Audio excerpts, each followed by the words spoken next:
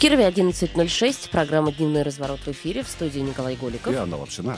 Всем доброго дня, мы работаем в прямом эфире. Я напоминаю, номер нашего телефона 211-101. Это номер для ваших реплик.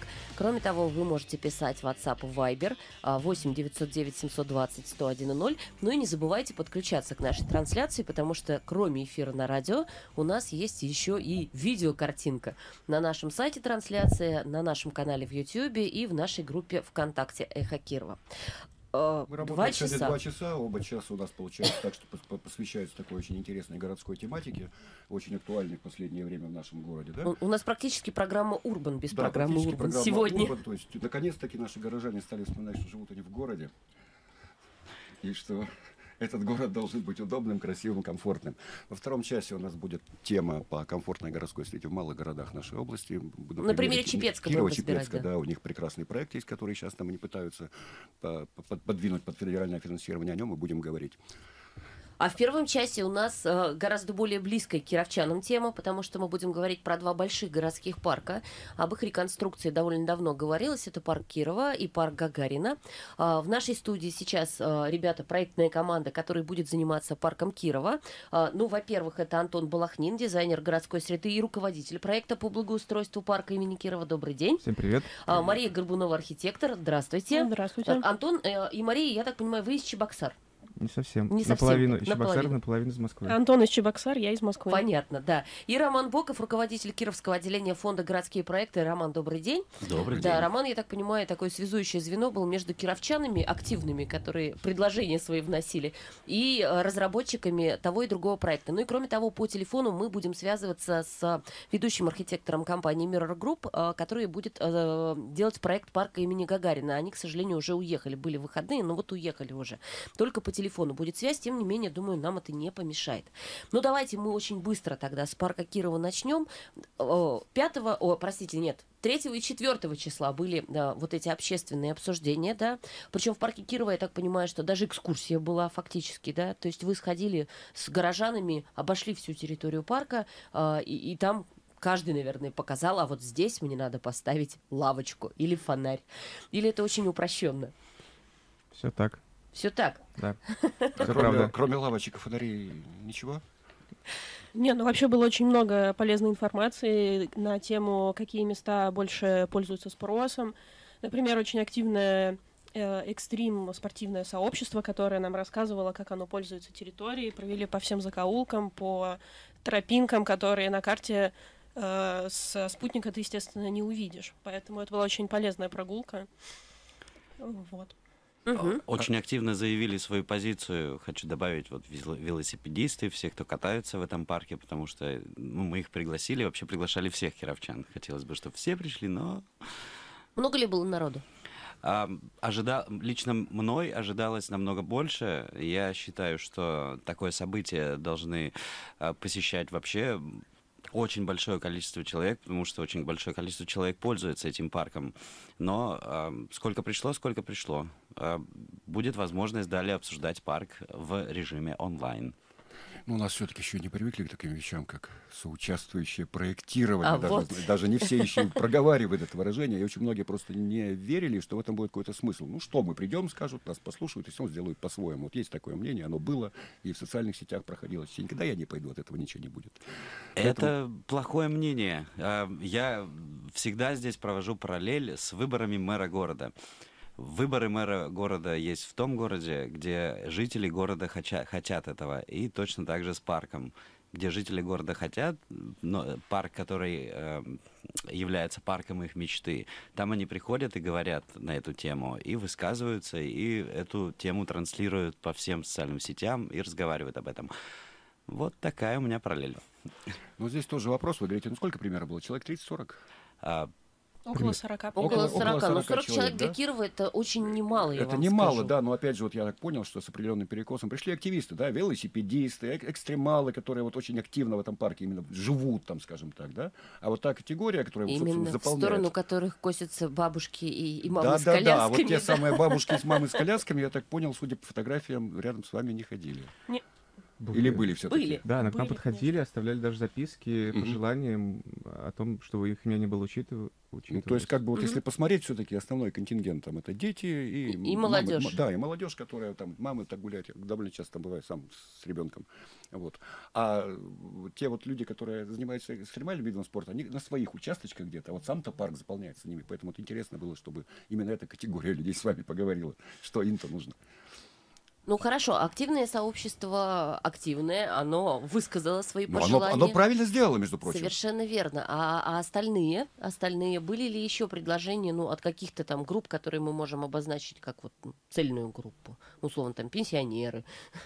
От мамочек с колясками были запросы, запросы угу. доступности к пруду, к прогулке э, по Нижнему пруду и э, мы проговариваем не только на общественных слушаниях, мы приходим в парк, знакомимся с людьми, подходим к ним и спрашиваем, э, как вы пользуетесь территорией. То есть вот после уже этой прогулки вы до сих пор там в парке появляетесь? До, и до прогулки, да? и после, да. Они, по-моему, уже здесь неделю. Ну, кто-то, кто-то, да, неделю. Не, э, ты ровно неделю. Да? Да. Есть ли какие-то вещи, которые вас удивили в парке Кирова, которые, э, ну, вот в этом парке есть, а больше вы такого не видели нигде? Пруд, наверное. Ну, мне кажется, что природная составляющая, вот эти гидротехнические сооружения, пруды, каскады, источники и ценные видовые раскрытия с мостов, это очень необычная ситуация в центре города. Вот, и также лесистая составляющая парка, то есть то, что лес прям находится в центре города, то есть не просто где-то на окраинах. Вот, это нас очень удивило, и Антон вообще был просто в восторге, когда только приехал. То есть вы действительно его воспринимаете как лес, да? То есть кировчане-то, мне кажется, не воспринимают Нет, ну, это Мы как раз до эфира лесом. делились. Я по-прежнему по старой памяти воспринимаю его как такой дикий участок леса. Его, конечно, сильно подчистили, попроредили, если так можно uh-huh. сказать, да, повыдергивали лишнее. Но вот изначально, когда это еще был Слоевский парк, это на самом деле такой участок дикого леса в городе. То есть его сохранили? Ну, по, по максимуму, да, наверное, все-таки. Это, это не искусственно насаженная растительность, Нет, там, это там было гораздо естественно больше росло всего, все. Да, там росло всего, и вкусного росло в том числе, там и ягодные кустарнички были. Это я очень в детстве любил. Там боярышник, серебряночка росла, все. Это вы, это вы собирали, наверное, ну, да? когда идешь по парку, естественно, когда вокруг ягодки, тем более вокруг, ну, понимаешь, это вот не, не у проезжей части, да, где говорит, мама, нельзя тут ягодки рвать, они все в бензине а там никакой проезжей части вокруг, там же реально угу. То есть нормально было. Доступ к пруду. Вот, кстати, эта история, которая у нас тоже в эфире поднималась после того, как пруд огородили вот этими заборчиками, да. А, скажите, пожалуйста, вот нам, нам обещали просто, что да, приедет команда архитекторов и что-то предложит такое, что заборы эти уберутся. Они останутся или они как-то модернизированы будут, или, или их вообще уберут, ограждение? Насколько вообще обязательно это ограждение в таких местах? Ну, вообще большинство архитекторов не очень нравятся какие-то ограждающие конструкции, которые закрывают вид. Uh-huh. то есть ты уже теряешь что очарование. Э, поэтому мы со своей стороны будем искать способы, чтобы доступ к воде был и безопасным, и без ограждающей конструкции. А какие они могут быть, эти способы? То есть расширить дорожку? А мы еще не проектировали, но... Ну, ну, как вариант хотя бы, да. Э, я так понимаю, безопасность навязана определенными стандартами безопасности, кто у нас этим занимается. Ну, вообще, вот заборы появились э, в парке из-за жалоб э, жителей, что начинает обваливаться дорога. Опол- оползать туда, да, в сторону оползень пошел, угу. и заборы, собственно, поставили. Мне кажется, это временное решение, и, Они естественно... В принципе, если да. берег укрепить, то они не нужны будут, получается. Но вопрос в том, как его укреплять, чем? Просто есть негативные примеры, что люди пытались сделать доступ к воде на, на, на разных набережных, угу. им... А как же эта организация называется? Не, ФСБшники, а кто там безопасность отличает? МЧС. Да, МЧС, наверное, да. Абсолютно верно, да. И МЧС э, ограничивал людей возможности э, сделать доступ к воде. Но есть э, формальные приемы, с помощью которых ты можешь ну, назвать пирсом или причал часть, часть Набережной. часть набережной, да, и тогда тебе не придется э, по закону ее ограждать, и к тебе никто не может... Ну, То есть здесь все дело в названии? Да, все дело в, в правилах. То есть которые... как этот объект проходит, да, по документам? Да, именно так. Интересный момент вообще. Ну, там на самом деле, если говорить о пирсе, то, наверное, вот э, та, та старая, я не знаю, она сохранилась или нет, та старая площадка, откуда стартуют лодки по, по, по пруду. Она Вот на той стороне, на той стороне, не где- проникнуть. Сейчас лодки Сейчас с другой этого нет. стар- стар- стартуют, а здесь Мгм. просто оградили, все, туда выйти нельзя. Там уточки у вас. да? Уточки, да, уточки у нас живут Но они не кругло- только в этом парке круглогодично. живут, они у нас весь город заполонен. И они иногда гуляют даже, то есть Прям можно улицам, утку да. где-нибудь встретить там, где нет водоема, она так самостоятельно передвигается между, между одним парком и другим Ладно, по по улице. паркам, не прям по дорогам ходят, по разделительной, это идут нормально. Да, у нас водители да. останавливаются уточки. Это, конечно, такая часть городского ландшафта. Все-таки вот э, если мы говорим о, о- о том, э, что входит в ваши задачи, ну, понятно, что надо разделить как-то потоки, да, вот мамы с колясками, вот спортсмены, для спортсменов нужна спортивная какая-то площадка. Понятно, что вы будете работать с водоемом. А, Есть ли какие-то пожелания, были ли высказаны кировчанами, которые, м, ну, скажем так, не банальные, то есть не поставить там лавочки, сделать фонари и урны, а еще что-то. Ну, просили ли что-то, чего в этом парке пока нет? Тикток, скажи про него. О, э, был такой запрос популярный от молодежи на красивую зону, на фоне которой можно снимать э, тиктоки и видео, делать селфи и постить их в Инстаграм. То есть э, видно, что у, чело- у, у жителей есть запрос на ну, просто эстетически красивое место, которое служило бы фоном для их семейных фотографий. Мы пока гуляли по парку, видели очень много людей, которые просто в погожий денек фотографируются на мостах с видом на пруды. И хотелось бы своим проектом, конечно, поддержать эту тенденцию, чтобы у людей было место, где они могли бы запечатлять свои, ну, семейные всякие события э, в родном городе. Это очень важно. Вот. Помимо этого, из такого необычного можно назвать уличный кинотеатр и какую-то культурную зону. То есть сейчас вот, э, э, диорама, она как бы является музеем, но достаточно формальным, и э, жители говорят, что было бы здорово в этой зоне развивать какую-то вот культурную программу, чтобы это был э, более интересный музей, который бы э, благоустройством и рядом стоящими всякими сооружениями поддерживал вот эту культурную составляющую, например, кинотеатр, лекторий, что-нибудь в этом плане. Ну, там вокруг диорамы достаточно большая ведь территория, вот эта э, не занята именно газонами зелеными, да, и сама Мгм. вот эта площадка с видом на, на каскад, да, на пруды, э, там тоже можно было бы что-то сделать, и у нас на самом деле периодически возникает вопрос и, и у нас, и у слушателей, а почему у нас возле диорамы не работает никакое летнее кафе, например, да, вот на этой большой площадке. Да, это, это, это пожелание тоже уже было на наших ментальных картах, которые мы вот с сегодня, ну не сегодня, там пару дней назад уже обработали с этого слушания. Э, То, что в этой зоне тоже хотелось бы кафе. Э, И еще в этой же где-то территории есть запрос на романтическую зону. То есть там вот откуда бьет родник внизу и выше, э, очень много говорят об этом месте как о месте для свиданий, э, для там молодоженов, фотозона для молодоженов. То есть приятно то, что вот эта вот территория около диорамы такая становится культурно, ну, не духовная, ну такая Ну, приятная. она уже вошла в список Сердечная. обязательных мест для посещения молодоженов. Да, ну там там даже потому что подкова, там же строили. подкова Да. стоит, она же стоит еще подкова-то Вот, там. там, а, кстати, в свое время эти мосты были все завешены замками, там это просто ужас был. Сейчас немножко они распределились по городу, да, все туда вешали. Насчет тоже- подковы было, конечно, разные были мнения насчет подковы. но- Так, в смысле, это мнение, мнение специалистов Вы или видели мнение жителей? Мы, конечно, мы видели. Это вообще очень горячий топик э, в обсуждениях был подковы и эти плитки. Да. Черненькие такие. Да, и мнения встречали вот от, э, сам, ну, как бы от самых негативных к самым положительным совершенно. Я прошу прощения, мне эти черные плиточки почему-то всегда, ну, кладбище напоминают, извините. Да. Мне вообще все это сражение очень так, как серпом по глазам, скажем так, мягко. Вот, ну что делать? Разные мнения должны быть. Может быть, она там останется. Почему То есть нет? вы планируете ее сохранить или пока не решили? А, ну, мы пока точно, естественно, не решили, но мы уже видим проблему этого сооружения в том, что оно уже как бы не актуально, и жители, много кто высказывается на тем того, что да, это было актуально там в года, когда это построили, но сейчас уже это, этот феномен устарел Мгм. и отжил себя. То есть нужно...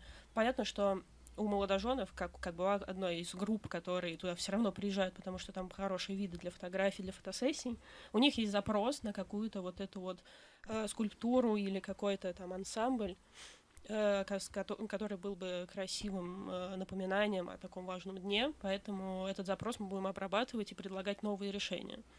Э, Вот. Ну, там на самом деле с этими плиточками, я так понимаю, что идея это закладывалась следующее. То есть создается молодая семья, потом в ней появляются дети, и лет так через цать, ну, 10, там, 15, ты с этими детьми приходишь в парк и показываешь им вот эту плиточку и рассказываешь, а что вот тут вот мы с твоим папой там, Идея или с твоей была мамой. такая, но да. потом эти плиточки стали покупать коммерческие компании, Серьезно? рисовать на них логотипы какие-то. В общем, это превратилось в... Это мое личное мнение, Мгм. что это превратилось в кладбище логотипов и какое-то вот такое непонятно что. Нет, не сохранился единый смысл реализации проекта, а стали просто продавать плитки, мне кажется. И кто купит, тот и купил, собственно. Это Мгм. есть, да. Ну, в общем, такая тоже серьезная, да, вот проблема, мне кажется, потому что может вызвать, конечно, ну, некий негатив со стороны тех, кто в это э, в свое время Не, там ну, погружался. В Ну любом под- случае, когда да. люди вкладываются в какой-то объект, там делают какой-то объект, они пытаются свои денежки каким-то образом отбить. Поэтому вопрос коммерциализации его никуда не деть. Другое дело, как Конечно. это все оформить так, чтобы это по глазам-то не ездило. Да, есть еще один объект, который тоже довольно спорный был и в момент установки, и после. Это, это памятник. э, Это вот э, А- у нас Ассоль? Ассоль, Ассоль? да, Ассоль и А там две кто там еще? Ассоли. И бегущая по волнам Да. еще. Да, но они обе же соли. Пытались мы выяснить, э, с чем связано такое, э, такие два акцента. С которые- любовью э, предыдущего нашего губернатора к Александру Крину. М-м. Наверное. Ну, скорее всего, да. И со знакомством с определенными архитекторами, да, тоже, скорее всего. Так, хорошо. А, Я прошу прощения у наших гостей в студии. У нас сейчас а, попытка связаться с архитектором а, парка имени Гагарина. Марина Вильгота, ведущий архитектор компании Mirror Group, с нами на связи. Марина, добрый день. Добрый день. Вы хорошо нас слышите? Да, все И мы вас слышим прекрасно. Это здорово. А, да, Марин, мы сейчас вот тут немножечко по парку Кирова поговорили с э, ребятами, которые будут им заниматься. Давайте мы тоже такую вводную дадим по парку Гагарина. В эти выходные а, там тоже была а, группа, которая а, высказывала свои предложения, группа горожан. Как много было людей? А, на самом деле мы ожидали, что придет значительно больше человек. Было около 30, наверное. Сейчас составляем отчет и, собственно, собираем все данные, которые мы получили. А, ожидали большего ажиотажа, тем не менее пришли люди, они высказывали свое мнение. Для нас особенно было важно встретиться с а, лидерами каких-то инициативных групп, с активистами, а, обменяться с ними контактами, чтобы мы могли поддерживать в дальнейшем диалог, в дальнейшем могли принимать участие в проекте. И как бы такие люди нашлись, и это очень здорово. Те люди, которые пришли, вот вы говорите, что это городские активисты, а были ли среди них просто вот ну, жители города, которые живут где-то неподалеку от парка, пользуются им ну, в таком как мы говорим, ежедневном мамочки с родители говорили, да. детей, да. потому что парк Гагарина, ну это тоже такая территория, она, она там отчасти многопрофильная, да, то есть там и пенсионеры есть, кто гуляет, и мамы с колясками, и дети на велосипедах, все они друг другу немножко мешают, а там еще зимой Да. добавляются студенты Они, кстати, педуниверситета и бывшего. осенью там да, бегают, да, поли, политех, ну, сдают смысле, какие-то нормы кошмара. Госуниверситета, да, которые бегают на лыжах или, или просто Сейчас они бегают. коврики Ой, ну, выкладывают что-то студенты там есть э, круглый год. Мы приезжали, гуляли в парке и две недели назад, и в этот раз его посещали, и особенно в будние дни днем огромное количество студентов, а, занимающихся спортом. А, Конечно, я, извините, перебила вас, мы учитываем то, что это городская территория, у нее очень широкий, очень широкая целевая группа, по сути, этой территорией пользуются все. А, Помимо встречи, которую мы провели в субботу, мы провели социологический опрос, на него ответило больше 830 человек, и там были как раз представители разных групп, и тоже обрабатываем эту информацию, и в итоге э, сравним результаты, полученные на встрече в субботу, и результаты, полученные с помощью онлайн-анкетирования, и ну, таким образом постараемся нащупать э, какие-то точки отправные, э, которые Алло. чтобы Так, у нас, у нас немножечко какие-то проблемы со связью. Марина, если можно, можно как-то переместиться в пространстве. Вначале вы говорили, вообще вас было очень хорошо слышно. Так, а сейчас? Сейчас Хорошо. слышно, да. Тогда. А, так, на, на каком моменте я пропала? Вы сравните то, что вы слышали от активистов, с тем, что вот вы получили в результате интернет-анкетирования. А, да, и получим какие-то отправные точки, как надо организовать этот парк, чтобы он учитывал интересы разных социальных групп, и чтобы э, эти функции парка, они не пересекались, условно, там собачники не мешали э, мамам с детьми, а спортсмены не мешали пенсионерам, и у каждого пользователя был свой маршрут и свое место в парке, и, ну, условно, вот эти конфликтные ситуации были разрешены. Какие предложения, там, внесенные активистами или во время вот этого опроса, если вы уже посмотрели их, вас удивили? То есть есть ли что-то необычное, что просят люди?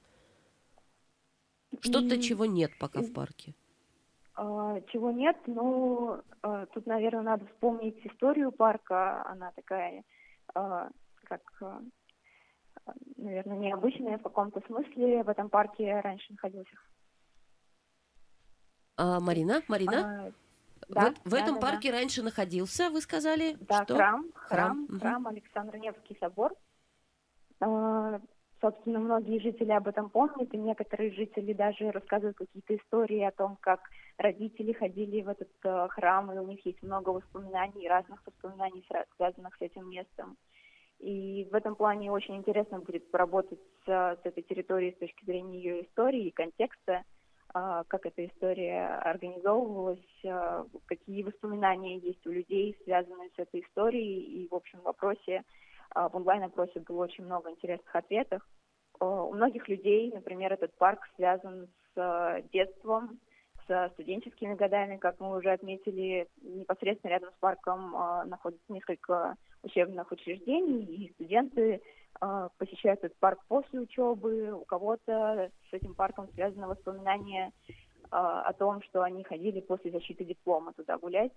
И мне кажется, это очень ценно, и это должно быть основой проектных решений, чтобы мы не нарушали существующую структуру и существующую как, э, атмосферу, наверное, этого парка, а только ее поддержали и сохранили все то самое любимое, что есть у жителей в этом парке. А, Марина, еще скажите, пожалуйста, по процедуре дальше. То есть вы сказали, что вот сейчас вы будете обрабатывать те данные, которые вы получили во время встречи, да, и те, которые вы получили во время опроса. Есть ли возможность у людей, у тех, кто не принял участие, еще как-то поучаствовать, у кировчан? То есть можно ли как-то с вами связываться, куда-то направлять свои предложения? Может быть, не вам, может быть, в теруправление по Первомайскому району? Безусловно, безусловно, такая возможность есть. Во-первых, у нас еще не закрыт опрос а, мы планировали его провести до а, сессии с участвующего проектирования, но люди продолжают отвечать, и мы не видим необходимости как бы, останавливать этот поток а, высказывания своих мнений. Плюс к этому мы ну, проанализируем все данные, полученные через с помощью встречи, которая прошла в субботу, составим отчет. Этот отчет будет в общем доступе, все смогут ознакомиться с его результатами и дать какие-то свои комментарии, если они увидят, что что-то там есть очень важное, что они не высказали или не присутствовали на этой встрече, они смогут с нами связаться через администрацию, э, также там все контактные данные размещены. И, э, конечно, мы стараемся учесть мнение как можно большего количества людей. И еще вопрос такой э, по поводу тематики космической. Вот эта история с парком Гагарина, она э, периодически возникает там, да, тоже в информационном поле. Угу. Сначала говорили нам о том, что парк Гагарина там, да, ну это Гагарин, космос, все, значит, вот это вот вперед к звездам. Потом была угу. э, история с тем, что постольку, поскольку парк детский, можно эту космическую тематику как-то переложить вот, ну, на хорошие детские книги и фильмы, условно, там, «Гости из будущего», э, не знаю, это маленький принц, да. еще что-то, да. Но вот просто современным детям, и, кстати, родителям современных детей, я не знаю, гости из будущего говорит что-то или нет. Я вот не уверена, что современные дети этот фильм смотрели. А, по поводу тематики, на самом деле, очень интересная тема именно касательно этого парка она очень сложная, и у нас даже были вопросы, адресованные конкретно этой теме в соцопросе. Это, эта тема поднималась и на э, встрече э, с жителями в субботу. Э, у парка очень сложная история, и, как я уже сказала ранее, там ранее находился храм, Сейчас там расположена филармония, и она играет очень важную роль и как бы дает такую некоторую культурность пространству. А, рядом находится несколько учебных учреждений, в парке явно а, проявлена спортивная тематика. А, рядом с парком находится библиотека, которая также проводит мероприятия культурные для детей. И здесь пока складывается такой образ спортивно-культурной зоны спортивно-культурного парка нет конкретного решения по тематике. Uh-huh. Мы проводим с этим работу, мы также изучаем мнение жителей по этому поводу. И ну, будем, скорее всего, как-то решать комплексно, чтобы не навязывать какую-то яркую тематику парку, не согласовывая это с контекстом, в котором парк находится. А, еще, Марина, такой вопрос. Были предложения снести филармонию и построить... И вернуть собор. И построить собор обратно, да. да. Было такое? Да, были.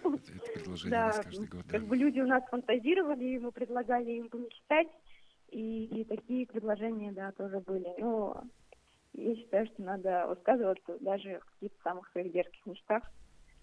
Вот, и мы дальше будем смотреть, работать и искать какую-то золотую середину. Спасибо большое. Марина Вильгота, ведущий архитектор компании Mirror Group, была с нами на связи. Парк имени Гагарина делает э, компания Mirror Group проект этого парка. Мы сейчас уходим на рекламу и через полторы минуты вернемся к гостям в студии. Возвращаемся в эфир. Дневной разворот. Мы с Николаем Голиковым и наши гости э, Антон Балахнин, Марина Горбу... Мария Горбунова и Роман Боков обсуждаем э, парк имени Кирова теперь уже, да? Возвращаемся. Парк Гагарина поговорили уже. Да. Возвращаемся к этой теме, да. А, у нас в перерыве гости сказали, как здорово, да, на радио. А, а, а, мы, а мы заговорили вот о чем. Мы заговорили о том, что все перемены, которые сейчас ну, планируются, да, и предполагаются, и дай бог Но осуществятся. Они по-любому будут, потому что есть определенный заказ, есть да. желание городских властей, то есть они должны произойти, эти перемены? А, они произойдут, все замечательно. Вопрос просто в том, как дальше это все будет работать, и кто будет за это отвечать, и как это все будет использоваться. Ну, то есть понятно, что до парков у людей, у которых там, а, может быть, голова болит о дорогах, я сейчас дорогах, про ДПИ о, говорю, о теплоснабжении, да? о чем угодно. У городской администрации много проблем, да. И у, у них до парков руки доходят в последнюю очередь, и для того, чтобы все это жило и развивалось, наверняка нужна какая-то вот, ну, отдельная организация. Ну, какое-то решение нужно, ведь есть же какие-то решения в других городах. Вот который будет этим заниматься. Я должен сказать однозначно, что на обоих мероприятиях было высказано такое предложение, что должна а, быть отдельная структура или вообще даже дирекция у таких крупных парков и э, отдельный человек, директор парка, который занимается этим парком э, внутри парка и структура в городе, которая только парками занимается и ничем больше. Мне кажется, это решение привело бы к тому, что э, забота о парках и о будущем их, его эксплуатации будет как бы актуальна и проходить в хорошем русле. И такие примеры есть в других городах. А вот здесь у меня вопрос сразу же. А все-таки эта структура должна быть подведомственна городским властям и управляемой ими, или это может быть какая-то частная структура? Ну, это же городские парки. Эм, парки я бы рассказал, что есть в Татарстане, ну, там э, есть особые регламенты у них, э, которые только в Татарстане насчет парков, и там есть дирекция парков, которая подчиняется, ну, подведомственное учреждение. И есть пример города Ижевск, где э, структура, которая является коммерческой и э, осуществляет эксплуатацию парка и э, заботится о парке благодаря угу. прибыли, которая, э, который, которая приносит парк, собственно так. Ну, в Кирове, я, насколько понимаю, структура была следующая. То есть есть э, контролирующие какие-то люди э, да, в подведомственных э, мэрии организациях. И парки сдаются в аренду, вот если я не ошибаюсь. То есть есть арендаторы парка. Я только не знаю, это все-таки вот по каждому парку какая-то отдельная организация, которая уже субарендаторов были нанимает. вот эти вот темы насчет того, чтобы сдавать парки в аренду, но в итоге заканчивалось, насколько помню, тем, что определенные участки парков там под размещение аттракционов, аттракционы, сдавались, да, да, да, и общепиты, и всего остального. Прочее, угу. прочее. А так, чтобы вот вот я не, не, не знаю насчет парка Аполло, сейчас парк Аполло вроде бы обрел некоего хозяина, да? Все остальные парки, по-моему, так муниципальные остаются, и муниципалитет, муниципалитет за все отвечает по-прежнему. Насколько а, я понимаю. Ну, вот ну, что эффективнее, я не знаю. Мы можем послушать пример из Чебоксар. Давайте вот. послушаем пример из Чебоксар, да. правда. Чуть-чуть расскажу. Ну, у нас, у нас дирекция парков, у каждого своего парка есть свой директор. У парков поменьше есть один директор на двоих. То есть э, сейчас некоторые парки уходят, ну, они, э, я общался с директором одного из парков, э, уходит в прибыль через пару лет по его прогнозам, и он уже сможет выйти на самоокупаемость и управлять парком полностью, не забирая городские деньги. У них правовая форма, и, по-моему, по 233 ФЗ они работают. Это 233 федеральный закон о закупках, и составлено составлены правила управления парка таким образом, что они могут э, более свободно закупать различное оборудование, то есть там до, до, 7, до 7 миллионов или до 10 миллионов рублей мне рассказывал. Это важно, почему? Потому что это прямая закупка, он сам определяет э, поставщиков, и очень интересная ситуация, что через этот парк у нас прогоняется цел, целая куча закупок на другие территории, потому что у города есть э, такие же подведомственные организации, э, например, как ЖКХ и благоустройство, у которых есть очень большие ограничения, то есть 223 сейчас это до сих пор, по-моему, это сколько?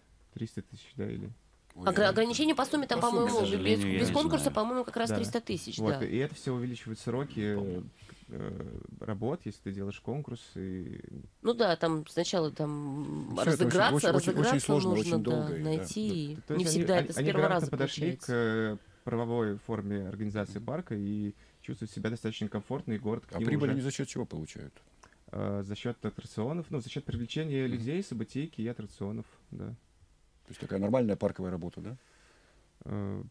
Ну, скажем так, ну парк что? Парк это аттракционы, это некие события, то есть не просто парк все, именно верно, как парк, то есть верно, они не используют его каких-то там... Я просто пытаюсь понять, сколько... Я, я живу у другого парка, и поэтому mm. в, тот, в тот парк я не, не очень хожу. Но, честно говоря, у нас э, э, с, с точки зрения эстетики там есть еще куда расти, ну, то есть очень сильно есть куда расти, э, потому что дизайн-код и э, общее стилевое раз, развитие парка определяется как раз этой дирекцией. То есть если в дирекции есть, будет запрос на э, какую-то качественную, качественную среду, то он будет реализован. А если у него свой собственный запрос, то вот некоторые парки очень э, слабо реализовывают свои решения с точки зрения качества работы. Но все равно у них дирекция, там какие-то зоопарки, там у них маленькие есть э, ну, то есть я так понял, что без дирекции нам никуда. Я надеюсь, что администрация города нас сейчас слышит и понимает, ну, что вопрос уже поставлен. Самая главная проблема в дальнейшей эксплуатации парка, вот каким бы ни был его дизайн... Чтобы, понятно, чтобы не напридумывали, чтобы не да. сделали это в итоге все, даже. Это все должно каким-то образом сохраняться. Это должно сохраняться, да. работать, это обслуживаться должно, Эксплуатироваться, конечно. привлечение бизнеса, затем привлечение туда мероприятий, угу. проведение мероприятий. Вообще, в идеале у каждого парка должна быть не только дирекция, это моя мини-мечта, а должен быть какой-то ивент-менеджер, который эм, еще и проводит вот политику, какие будут мероприятия там. Еще попечительский совет. И попечительский совет, я как раз тоже подумал. Далее, да. Да. Желательно, чтобы там был не только бизнес, а может быть и политики какие-нибудь, да? Нет? Может быть.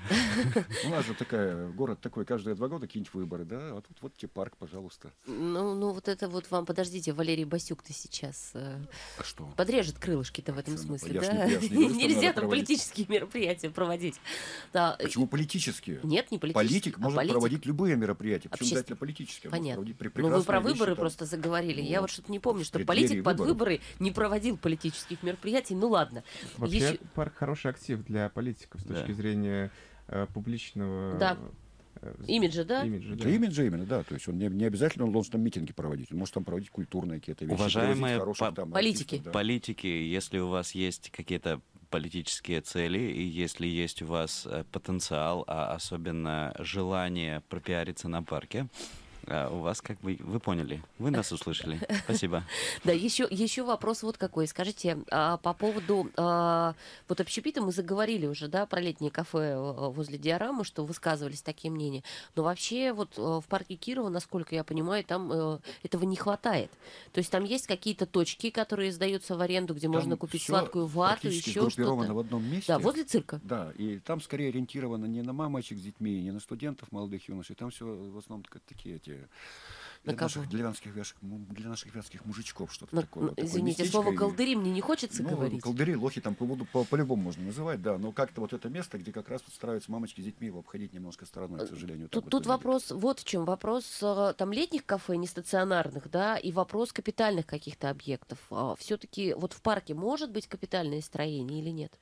Ну, капитальные строения возможны, но когда дело касается кафе, мы, по-моему, вчера уже это обсуждали uh-huh. с э, главным архитектором, ну, человеком, который занимается архитектурой в городе, uh-huh. и мы пришли к такому выводу, что э, капитальное строение уместно, если оно будет совмещать в себе несколько функций, то есть кафе плюс прокат, кафе плюс там лекторий или что-то еще.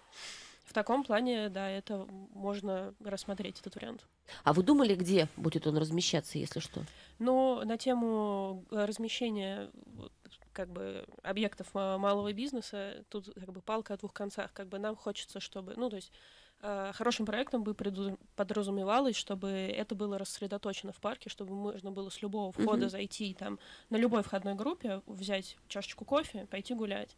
Но как бы у бизнеса другое на этот счет мнение, потому что они понимают, что все в основном э, крутятся на этом пятачке около Макдака, mm-hmm. и они такие, мы просто не затащим э, других людей, ну как бы своих коллег по бизнесу в разные части парка, э, потому ну, что... На самом деле не все любят Макдональдс. Нет, ну, просто да. сейчас у нас так устроено, что вход практически один. Со стороны ну, да. проспекта тут и Макдональдс стоит, тут да. и колесо обозрения, тут аттракционы, цирк, тут все да, аттракционы, да, да. все тут сделано, все в одной куче. Если все это распределить, то вполне возможно ситуация изменится. Все верно, очень ну, несправедливо забыт вход возле, ну, по улице Горького. Это да, так-то да, очень да, длинный, да. широкий, и, ну, большая входная группа, которая была, э, ну, в общем, прогуляли мы эту группу, мне ну, кажется. То есть нет, есть же вход со стороны улицы Горького и э, Азина, Горького, да? Азина, там, вход да, есть. есть еще вход со стороны со Азина и Октябрьского, и проспекта, проспекта возле, да. возле Спартака. Горького Азина это такой пеший проход, ну, такой туда местные приходят, да. Угу. А вот где Горького Длинный вход — это парковочное место, причем э, это место для того, чтобы э, комфортно припарковаться на автомобиле и пойти провести часа два-три в парке. Еще вопрос по поводу цирка. А, тут вот э, тоже история такая. Я так понимаю, что парк в управлении, ну, в смысле, в собственности города, а цирк ведь это компания, а, компания Росгосцирк, да, федеральной земли, а, да. который не, не самым презентабельным образом выглядит, и вот, наверное, отравляет, отравляет жизнь. В 2023 году, внешний, в 2024 году нам вчера да, рассказали, да, что он попал под программу реставрации, и ну, можно ожидать каких-то изменений к этому времени, но да, это кусочек федеральной земли, и мы можем сейчас только делать предложения по э, упорядочению, потому что мы собирали много комментариев, что там как бы балаган, э, ярмарка, в общем, шум, э, гам, это, хаос. Раньше, раньше много жалоб было на э, это. То, что вот, да, и это не нравится. Цирк зарабатывает деньги таким образом. Поэтому тоже. пока что мы только будем делать предложения. Ну, надеюсь, в дальнейшем кто-то будет к этому прислушиваться.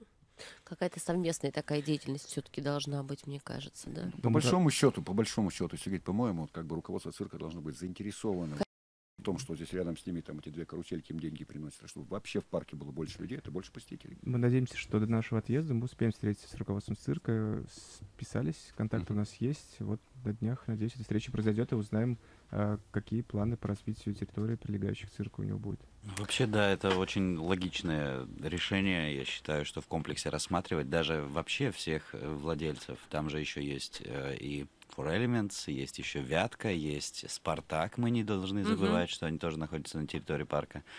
Диорама. Диорама, да. И с Диорамой мы тоже собираемся связываться в ближайшее время. Мы, по-моему, уже начали связываться. Тем более, что мы говорили, что Диорама такая прекрасная площадка, которая, ну, просто вот... Ну, Диорама — это вообще большой да, культурный потенциал у этого места в целом. Так, спасибо большое нашим гостям. К сожалению, время нашей программы заканчивается. Да, Антон Балахнин, дизайнер городской среды, руководитель проекта по благоустройству парка имени Кирова, Мария Горбунова, архитектор, Роман Боков, руководитель Кировского отделения фонда «Городские проекты». Мы затем будем обязательно следить, и вот изменения, которые будут происходить, будем подсвечивать а, в наших а, эфирах. А пригласим их в Инстаграм э, подписаться на наши сети? Конечно, давайте. давайте. Делаем парк Кирова. У нас есть Инстаграм, есть сайт, и И группа ВКонтакте тоже да, есть. Тоже делаем паркирование называется. Делаем да. паркирование. Спасибо большое. Все, первый час разворота завершается.